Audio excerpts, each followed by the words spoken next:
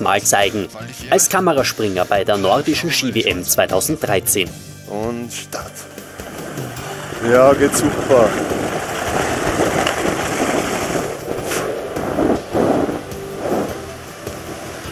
Ui, der war weit. Der war weit. Super Sprung. Wahnsinn. Perfekte Verhältnisse. Der studierte Sportwissenschaft.